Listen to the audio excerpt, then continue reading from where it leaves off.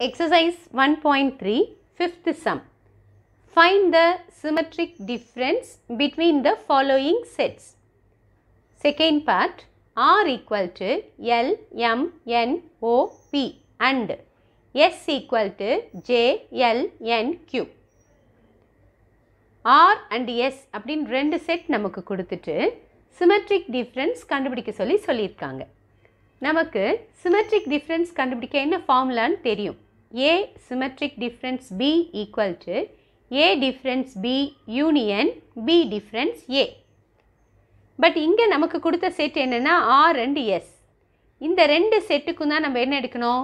Symmetric difference எடுக்கணும். So R symmetric difference S equal to R difference S ஏ இருக்க பிளேஸில் R போட போகிறோம் பி இருக்க பிளேஸில் எஸ் போட போகிறோம் so R difference S union S difference R இது சிமெட்ரிக் டிஃப்ரென்ஸோட ஃபார்முலா அப்போது இந்த ஆர் சிமெட்ரிக் டிஃப்ரென்ஸ் எஸ் நம்ம கண்டுபிடிக்கணும்னா நம்ம ஃபஸ்ட்டு ஆர் டிஃப்ரென்ஸ் எஸ் கண்டுபிடிக்கணும். அடுத்தது எஸ் டிஃப்ரென்ஸ் ஆர் கண்டுபிடிக்கணும்.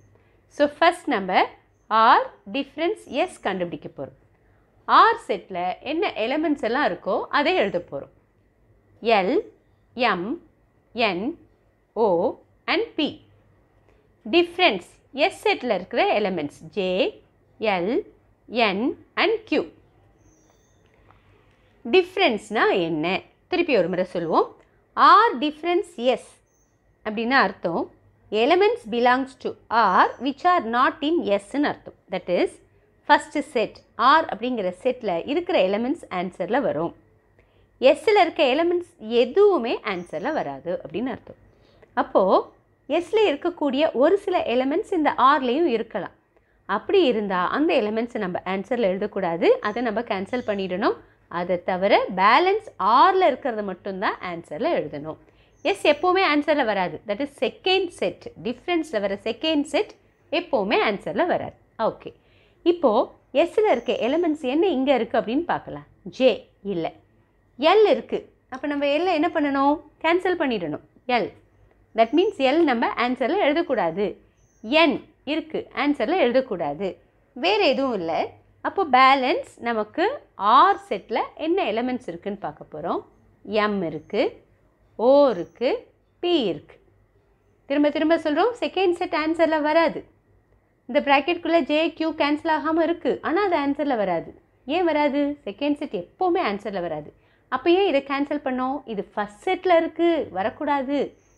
ஃபஸ்ட் செட்டில் இருக்குது அப்படின்னு தான் கேன்சல் பண்ணியிருக்கோம் வேறு எதுவுமே இல்லை. M O P this is R difference S answer அடுத்து நம்ம கண்டுபிடிக்க போகிறது எஸ் டிஃப்ரென்ஸ் ஆர் எஸ் செட்டை ஃபஸ்ட் எழுதிக்கிறோம்.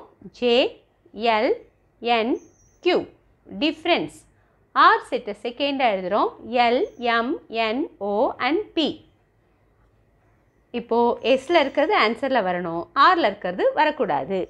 அப்போது ஆரில் இருக்க ஏதாவது எஸ்ஸில் இருக்கான்னு நம்ம பார்க்கணும். பார்த்தா என்னெல்லாம் இருக்குன்னு பாருங்கள் எல் இருக்குது கேன்சல் என் இருக்குது கேன்சல் வேறு எதுவும் இல்லை. ஸோ பேலன்ஸ் எஸ் செட்டில் கேன்சல் ஆகாமல் என்ன இருக்குது ஜே இருக்குது க்யூ இருக்குது so this is S difference ஆரோட ஆன்சர் பட் நாம் என்ன கண்டுபிடிக்கணும்? ஆர் சிமெட்ரிக் டிஃப்ரென்ஸ் எஸ் கண்டுபிடிக்கணும்.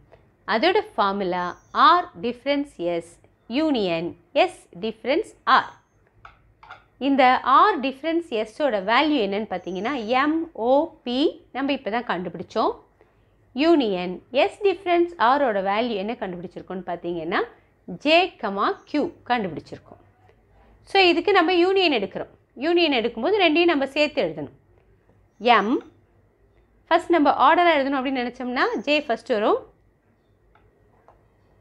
Then M O P next Q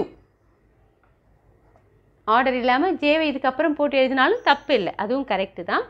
but ஒரு ஃபார்மேட்டுக்காக நம்ம அந்த மாதிரி எழுதுகிறோம் so R symmetric different S equal to J M O P Q இதுதான் நம்மோட செகண்ட் பார்ட்டுக்கு கிடைச்ச ஆன்சர்